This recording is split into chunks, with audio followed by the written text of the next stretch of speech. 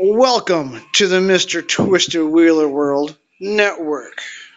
Hey guys, this is TW. This is our newest creation. This is the 125M 1986 Fat Cat that we had subbed out to a mountain bike club here in Minnesota. And just wanted to do a walk around and let you guys see what we did.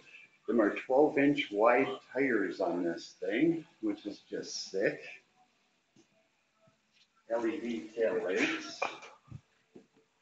Very cool. Stuck with the original exhaust system. Mounted brakes, kickstand, even though damn thing stands up by itself, doesn't even need a kickstand, which we're kind of impressed about, but we did have to install the kickstand just to make it safe. So let's go ahead and fire this thing up and uh, you guys take a look. Black lights. Oh, black lights, he says? There it is. The one thing cool about this Fat Cat, it's the only Fat Cat in the world that has this.